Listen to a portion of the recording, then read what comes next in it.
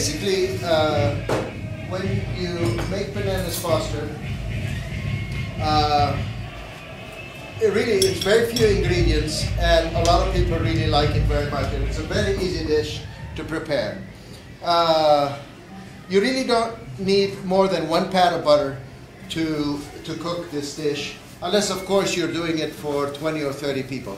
But basically, it's one pat of butter, and it's it's two tablespoons per person. Now, since I'm making it for you all over here, I've got it exactly Oh. measured. There. And so I put uh, I put the sugar in with the butter, and I add just a bit of banana liqueur to start. And the only reason I add the banana liqueur it's to help me break the sugar down uh, until I basically get a consistency of a loose toothpaste. And we know individuals that uh, eat toothpaste. Yeah, well, yeah, that too. And, and Charles, when you when you make this light brown sugar or dark brown sugar, do you Uh, you can use both. Uh, this is the pan we use for bananas. I mean, you can use a round pan. You can use really anything you have at home if you want to make it at home. Uh, it's uh, it does it does not uh, you know it does not require this kind of a pan. But basically, all you need is a, a some kind of a pan in which you can uh, cook and uh, it doesn't uh, burn your sugar at the bottom. And as you see, I normally cook everything on a high fire because um, given that you have people and you have waiting waiting for it to be served, uh, you you've got to you've got to put it out as fast as you can. Is this So- the first time you've ever made this? Uh, the first time today, yes, sir. Okay. How Yes, sir. many would you say you have done in your career? Well, I've, I've been at this job for approximately 27 years. And I do it on the average about five times a night. And um, so you can figure out uh, how many times I've done it over the years. Well, Many, no, many no, I can't because I can't count that high. Okay.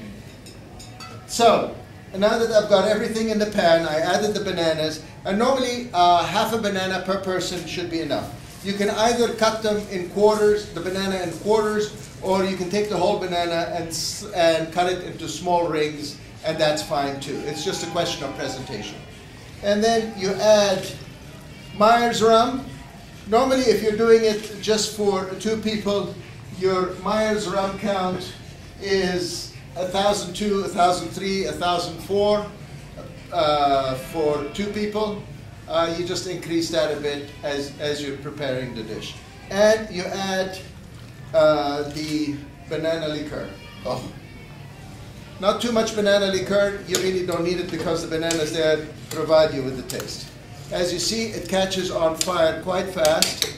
And with that, as it's flaming, you sprinkle some cinnamon. And uh, it, the show is much nicer at nighttime because you see the sparkles more. But uh, believe me, the taste is the same. wow. That's the eyes of the spirit world Yeah. times 10,000. And and as you're cooking this dish, uh, there's two things that you should always remember. That uh, you don't want to cook your bananas to a point where uh, they become like baby food. Uh, you're, you have to remember you're serving, you're pouring this stuff on vanilla ice cream, so the ice cream in itself is already soft enough. So it's it's just kind of nice having a different kind of consistency there, and that's why uh, you you're careful in when you're preparing this dish. Is if you receive bananas that are very ripe, you just you just cook them very short period of time. If on the other hand, if your bananas are green or almost green, then you cook them at a much longer time. Man, the smell, my friends, I wish you're seeing it, you're hearing it. It's the smell is amazing, though, isn't it, Chef? I mean, it, it's already getting over my pink man in jersey. I mean, the drool is just it's hideous. It, it, it's a very distinctive smell of Bananas Foster, and, and what makes this dish at Arnaud's that much better. Th- there's several must things to do in New Orleans. One, of course, is eating in Arnaud's. The other is absolutely without a doubt.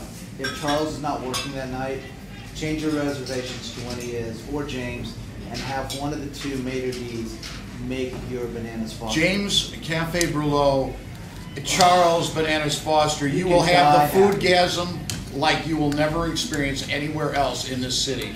And the class, and the beautiful, beautiful chandeliers, and the hand-laid tile floors, and all the servers in starched jackets.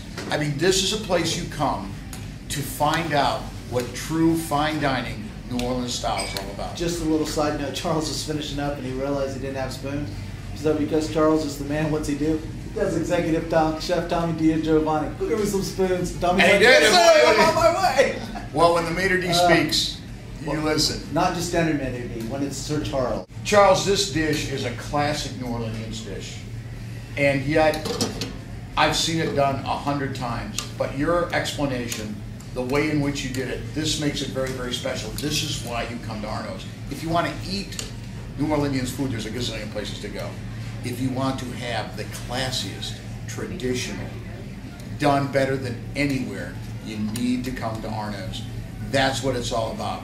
Charles, thank you so much. We can hardly, Oh, we're gonna, we're gonna have to wrap this up so we can eat. Uh, what ice you're cream melts. welcome. The one thing I just wanted to say, if you ever try to do this at home, the my my teacher uh, who taught me how to make bananas Foster always used to tell the guests, the guests, he says, if you want to make this at home, make sure two things that you have high ceilings and very good fire insurance.